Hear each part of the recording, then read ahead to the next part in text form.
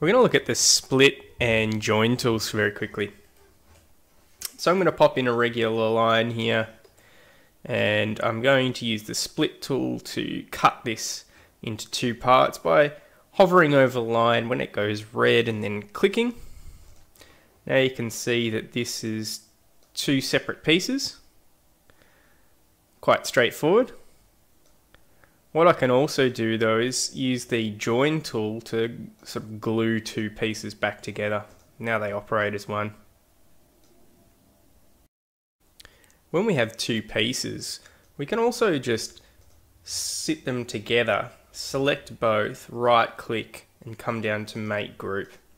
And this gives them somewhat of a relationship. It allows us to move them around together as one piece and do some other things. But if you double click on it, you'll notice that there's still two separate pieces. So this is fine for something like lines, but when you want to add fills, then it can get, get a little bit messy.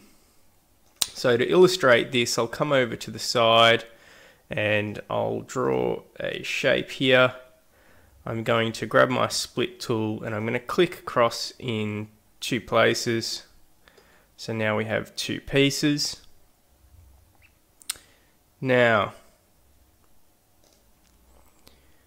if I pull these apart, I can see that they're definitely two shapes. That's fine.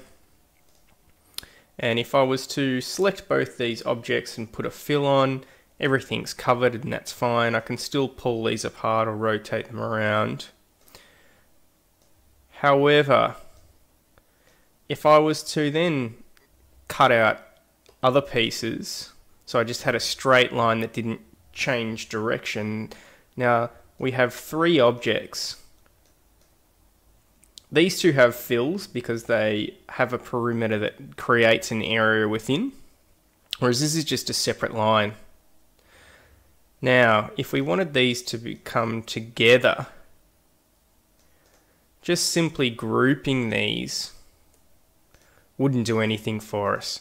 We can move them around as one piece, but there's no relationship at the joins to be able to fill the whole of this shape. So what we're better off doing is using our join tool.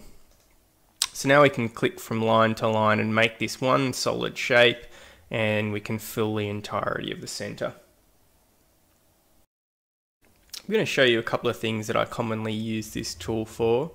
Uh, with plants, sometimes we want to put them in groups and it looks messy if we have multiple lines going through the center. So what we can quickly do is click on the exterior connecting points around the object and then we can come back and, and delete the internal areas. And from here you could glue them together if you wanted to. And this would get me on my way to doing a a rudimentary planting plan for the contractors.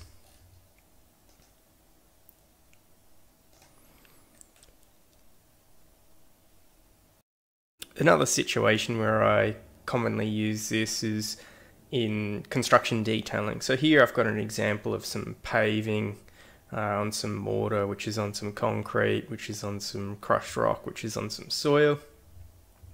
And this might continue for another five meters or something like that, and, but it's going to be the exact same construction method. So I might want to finish it here and show that it would continue.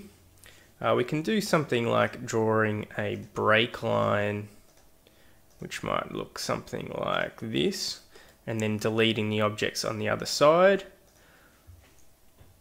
by using our split tool. And we could also just leave the ends open. Instead of having this solid line down there, we could use our split tool to split.